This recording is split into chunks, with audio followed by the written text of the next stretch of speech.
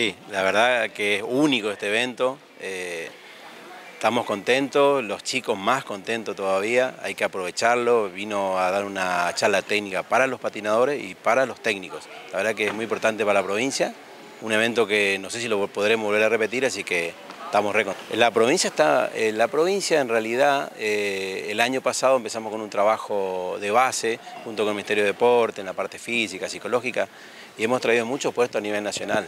Trajimos tres puestos en la mayor, máxima categoría, así que estamos creciendo muy bien. Es muy importante porque... la técnica, digamos. Eh, la técnica es importante, pero hoy la parte física creo que el trabajo es más importante que la técnica. depende del momento del entrenamiento, no en la pretemporada estamos hablando. La clínica del italiano es, eh, trabajan sobre los patinadores, en los saltos, en los trompos, en la parte técnica, digamos. Terminan de, girar, va el profesor, el italiano, y le explica en qué están fallando, entonces nuestros técnicos anotan, les filman cuáles son los trabajos en la parte técnica. Técnicos y patinadores trabajan en la misma pista en el mismo momento. Y la federación tiene el torneo nacional de la B, que es en abril, que se calcula que van a venir entre 1.300 y 1.500 patinadores, así que un evento grandísimo para nosotros. Muchas gracias, la clínica empezó ayer, eh, hemos hecho algunas horas de trabajo para comprender un poco cómo era el nivel de las chicas. Y la cosa más sorprendente es que son personas acá con mucha ganas de aprender. Y cuando esto está a la base, ¿no? la, curiosidad, la, gana de aprender, seguro se llega a un resultado. Eh, él eh, muchas veces da, de ejemplo ¿no? por las chicas y mm, pasa esto, cuando nosotros trabajamos juntos, muchas veces el que está en actividad, en este momento es el, el campeón del mundo, da la posibilidad de mostrar. La expectativa es apasionarse a este mundo, que puede, puede estar parecido a un micromundo, ma realmente no es así, porque son mm, muchísimas las patinadoras y los patinadores en el mundo que practican esta actividad. Eh, la cosa importante es creer cada día a lo que las expectativas, ¿no? Si existe un sueño y se trabaja mucho para conseguirlo, seguro se puede realizar es extremadamente potente el impacto que, me ha dado, y es la segunda vez que la veo, ¿eh?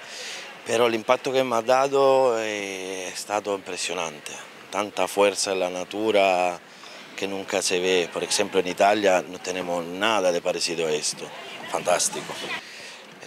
El, deporte en general pienso que es el motor, el motor de la vida, porque te, te arregla, te arregla el ánima, te arregla el cuerpo, te, te da la, posibilidad de vivir bien y sano y, te mantiene lejos de los problemas que te puede dar el mundo. Sí, esta es como Luca es mi primera vez, es un placer muy grande estar aquí. Eh, mi vida es un poco particular porque yo antes vivía en Perugia, en otro lugar de donde vivo ahora, pero como dice Luca, si tienen sueño, eh, haciendo este cambiamiento de lugar, puedo intentar de mm, tener este resultado. Quindi mi hermana me dijo que el tren pasa una vez, quindi esto me hace un paso adelante por cambiar esto, por eh, intentar de realizar mi sueño. Eh, está, ahora estoy muy feliz porque mi sueño está realizado, pero cada año tengo un objetivo, porque si no tiene un objetivo no puede adelantar. Eh, y, cada año es más difícil, pero con mi team tenemos que trabajar cada día constante para, para esto. Sí, eh, aquí está un nivel bastante bien. E la differenza de aquí en Europa que eh, es cómo se hace el trabajo. En Italia se hace un trabajo un poco más constante. Esto es la cosa importante, esta es la fuerza de Italia. Eh, yo Luca estamos aquí por esto, para intentar de no sé cómo se dice, de las niñas tienen que comprender esto, que no tiene que trabajar soltanto, pero tiene que poner pasiones, eh, emociones cada día.